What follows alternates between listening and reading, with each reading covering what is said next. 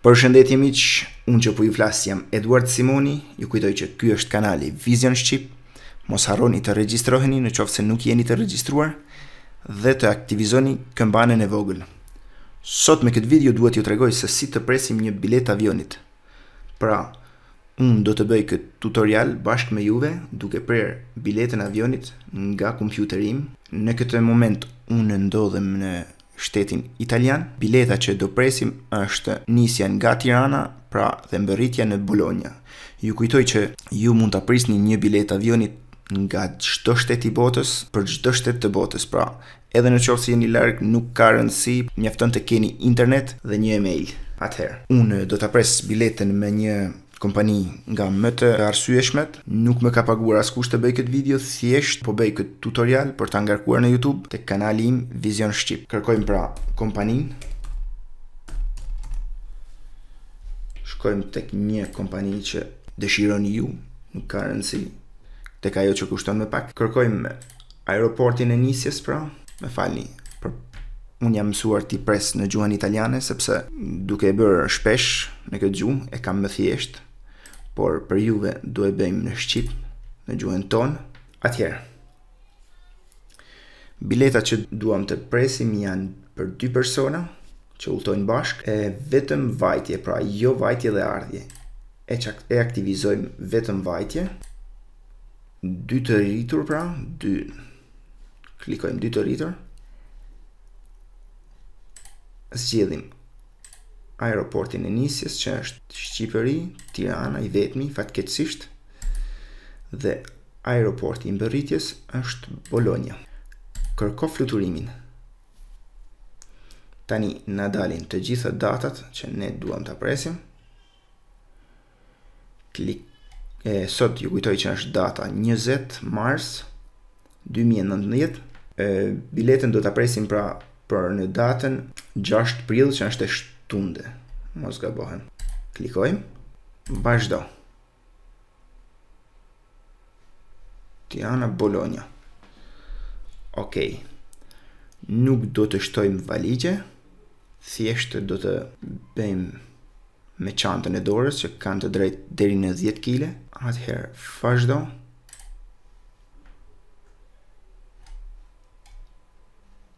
Tirana Bologna 6 prill 2 pasagjer. Nuk duam të shtojmë asnjë gjë pra. Vazhdo. Ju kujtoj që duhet bërë regjistrimi. Pra, emri, mbiemri i personit, duhen të gjithë emrat, të pra të dy emrat e të e personave që udhëtojnë.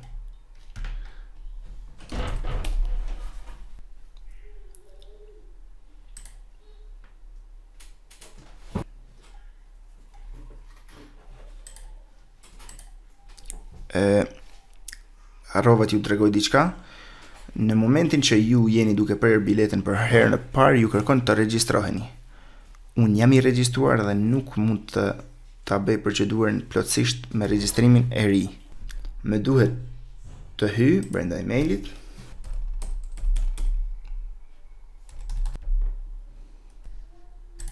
Pra, unë tani do të kyçem.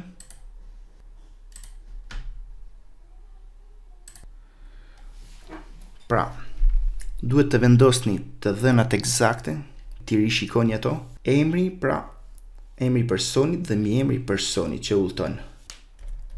Unë do vendos numrin e telefonit tim sepse jam unë personi që i pres ato dhe në qoftë se do më marrin në telefon, pra më marrin mua. Në qoftë se ka një luhatje date ose diçka tjetër. Femër. Vazhdojmë. Na kërkon në, në qoftë se ne duam të paguajmë me Amazon Pay ose me kartë. Vendosim numrin e kartës. Pra të gjitha të dhënat e, e kartës së kreditit mjafton një kartë e parapaguar që të jetë Visa ose Mastercard. Madje ju këshilloj të përdorni një kartë të parapaguar sepse është më mirë se të vendosni një llogarinë tuaj.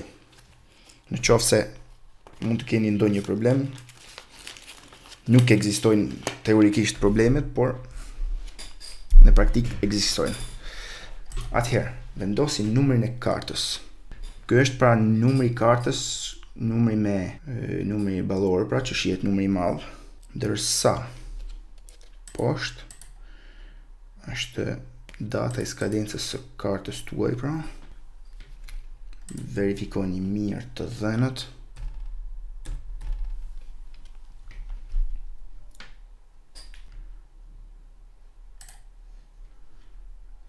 ju këshilloj të lexoni të gjitha kushtet edhe pse janë shumë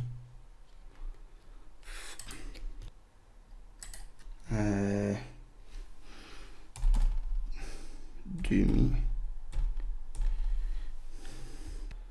dhe tani bëjmë pagesën pra mendoj që është krejtësisht e thjeshtë mund ta bëni edhe nga celulari absolutisht nuk është asnjë problem bëjmë pagesën tani pra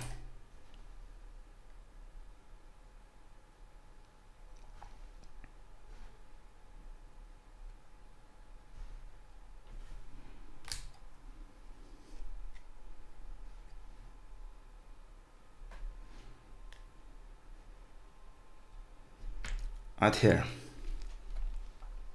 shkojmë tek e-maili jonë dhe shofim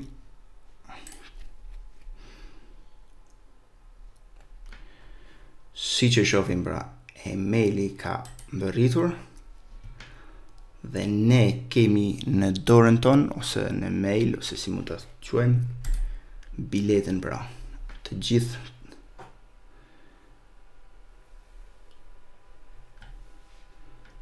Ok pra siç shofim biletën kemi mundësinë ta stampojmë, pra ta printojmë ose si mund t'i themi.